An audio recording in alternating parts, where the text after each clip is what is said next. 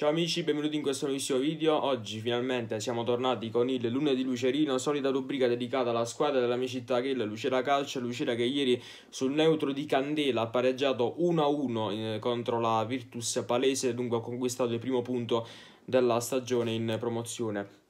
Allora, parliamo della partita. Il Lucera che passa subito in svantaggio con la rete della Virtus Palese, eh, con assist di Miccoli e gol di Terrone che di prima la mette all'angolino basso alla sinistra di, di Michele che non può far nulla, su, che, che, non può, che non può far nulla sul tiro. E dunque gol di, di Terrone che appunto è un giocatore veramente di esperienza, che ha giocato in eccellenza con Manfredonia, ha giocato anche l'anno scorso con il, con il Bitritto.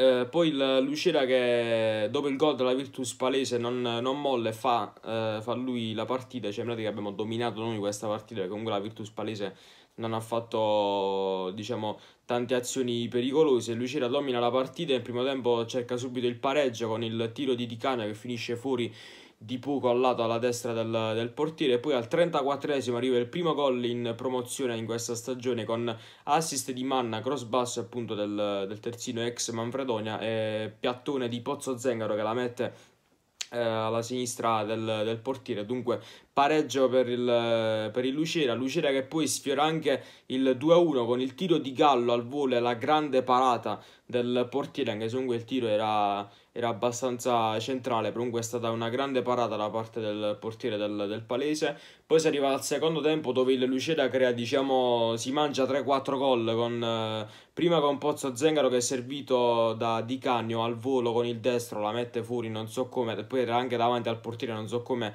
ha fatto sbagliare, così come non so neanche come ha fatto sbagliare Menguni che con una grande azione, diciamo quasi alla Pogba dei migliori tempi, passa in mezzo a due uomini, poi il tira con il, si tira con il sinistro, altra, altra grande parata del portiere, poi c'è stato un altro tiro di Di Canio che diciamo l'ha messa quasi all'angolino alla sinistra del portiere che poi ha parato anche questo, ha parato anche questo tiro eh, che dire, poi è finita, è finita così la partita. Poi con, anche è finita la partita con la Virtus Palese in nove uomini, perché comunque sono stati espulsi due giocatori del, appunto, del, del Palese. Non siamo riusciti a vincere, ci siamo mangiati tanti gol e loro, e loro erano anche in nove. Eh, che dire, pareggio che comunque è immeritato, perché meritavamo sicuramente la vittoria, però però dobbiamo segnare, come, cioè, ritorniamo sempre stessa, allo stesso discorso della partita con, con il San Ferdinando, dobbiamo segnare, dobbiamo essere più cattivi sotto porta perché va bene che abbiamo fatto il gol dell'1-1 che comunque ci sta, abbiamo pareggiato, abbiamo, abbiamo segnato, però questa partita dovevamo vincere, dove, dovevamo fare penso minimo altri 3-4 gol, cioè questa partita doveva finire minimo 4-5-1 per il per il Lucera. Dobbiamo essere più cattivi sotto porta. La, la dobbiamo sfondare questa volta perché ci siamo mangiati troppi, ma troppi gol. Veramente, cioè, ragazzi, il Lucera gioca benissimo. Cioè, creiamo delle azioni spettacolari.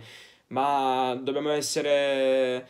Dobbiamo essere più concreti sotto porta. Ci, ci vuole la cattiveria. Ci vuole la cattiveria sotto porta. Eh, purtroppo.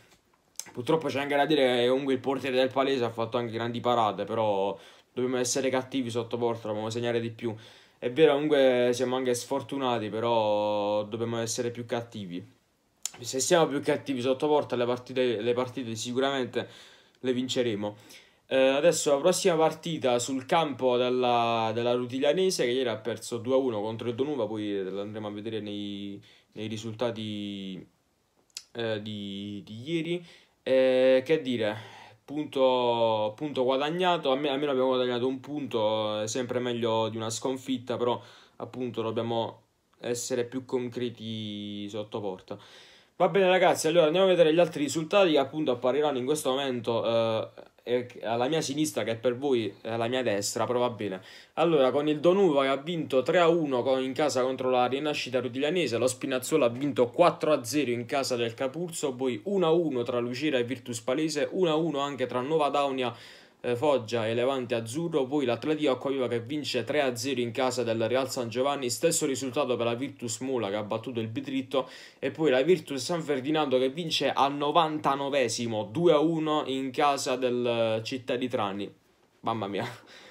Un risultato, diciamo forse sorpresa, un risultato veramente incredibile perché comunque il Città di Trani è una bella, una bella squadra quest'anno, quindi Comunque, grande risultato della Virtus San Ferdinando e complimenti a loro. Tanto, eh, tolta, tolti i risultati, in questo momento apparirà la classifica, che è questa qui dove a punteggio pieno ci sono eh, la nuova Spinazzola e la Virtus San Ferdinando con 6 punti, poi a 4 punti ci sono la Nuova Daunia Foggia, il Levante Azzurro e l'Atletico Acquaviva poi a tre punti ci sono la Virtus Mola, eh, il Donuva, eh, la, rinascita la, rutiglianese e il Bitritto, poi a un punto Lucera, Virtus Palese e Città di Tranni e infine a zero punti Real San Giovanni e Capurzo. Allora andiamo a vedere la prossima giornata che sarà la terza di, di, questo campionato che si giocherà domenica prossima dove il Lucera non giocherà alle tre e mezza ma giocherà direttamente alle 11 del mattino quindi si giocherà, si giocherà alle 11 e quindi forse uscirà anche la reaction, quindi però eh, penso di sì, al 90% penso di sì. Ieri purtroppo non l'ho fatta perché stavo facendo il raccattapalle e quindi non potevo andare a prendere il pallone, andare a prendere il pallone con un telefono in mano, quindi, quindi non uscirà la reaction di Lucera Palese, ma almeno gustatevi questo lunedì del Lucerino, sperando che poi uscirà la reaction della prossima partita contro la Rutiglianese fuori casa. Dunque, appunto la prossima giornata è questa qui con eh, il Lucera che aprirà questa giornata alle ore 11 in casa della rinascita rutiglianese. Poi l'Atletico Acquaviva sfiderà, la Virtus Palese in casa, il Bitritto ospiterà, il Real San Giovanni, poi l'Evento Azzurro invece sfiderà il Donuva, poi c'è una bella partita questa tra Nuova Spinazzola e Città di Trani, poi Virtus Mola contro Capurzo e infine Virtus San Ferdinando contro Nuova Donia Foggia. Allora, sfidiamo la rinascita rutiglianese rinascita rutiglianese che diciamo è rimasta diciamo, sempre la squadra dello, dello stesso anno. Eh, ha perso il bomber Chiumarulo, se, se, non sbaglio si chiama così, il loro bomber Chiumarulo che l'anno scorso ha fatto 18 gol in campionato, eh, Chiumarulo che poi è andato ovviamente alla Virtus Mola, eh, però che dire, è rimasta diciamo sempre la squadra dell'anno scorso, ha aggiunto, aggiunto altri giovani di qualità, però dobbiamo vincere dove forza è una partita che si deve, si deve vincere. Poi, comunque, andremo su un campo che l'anno scorso, appunto, come abbiamo visto, non è, non è, messo, benissimo, non è messo benissimo. Però vedremo come sarà messo questa volta. Sarà una trasferta insidiosa perché comunque non è facile giocare in casa dalla Rutiglianese. L'anno scorso abbiamo vinto 1-0 grazie a un calcio di rigore di Balletta. Poi con quella vittoria andiamo al secondo posto e poi ci fu una debacle assurda perché facemmo due sconfitte consecutive e un pareggio, andammo forse al sesto posto se non sbaglio.